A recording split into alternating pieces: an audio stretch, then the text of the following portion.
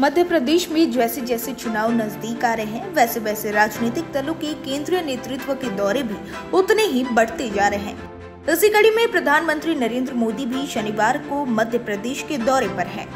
लगभग 100 करोड़ रुपए की लागत से बन रहे भक्तिकाल के दलित संत रविदास के मंदिर के सामाजिक के साथ साथ राजनीतिक मायने भी हैं।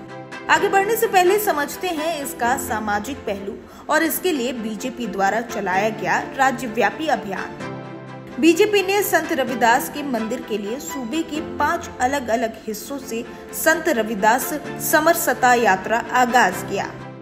45 जिलों से गुजरी समरसता यात्रा।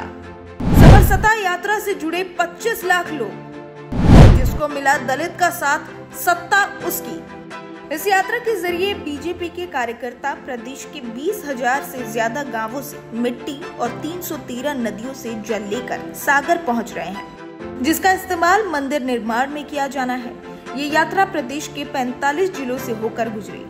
इस दौरान कई उप यात्राएँ और कलश यात्राएँ भी इससे जुड़ी। बीजेपी का दावा है कि जिन पाँच रूट से ये यात्राएँ गुजरी, वहाँ तीन जन संवाद कार्यक्रम आयोजित किए गए हैं। लगभग 25 लाख लोग इस दौरान उनसे जुड़े।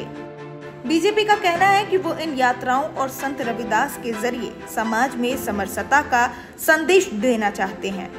लेकिन बात सिर्फ़ इतनी ही नहीं है। दरअसल मध्य प्रदेश में चुनावी माहौल है। ऐसे में हर घटना और हर कार्यक्रम में राजनीतिक मायने भी हैं। सूबे में 16 से 17 फ़ीसदी आबादी अनुसूचित जाति, यानी कि दलित समाज की है। मध्य प्रदेश की 220 विधानसभा सीटों में से 35 सीटें दलित समाज के लिए आरक्षित हैं और कई सीटों पर इस समुदाय का जीत हार तय करने में अहम रोल होता है।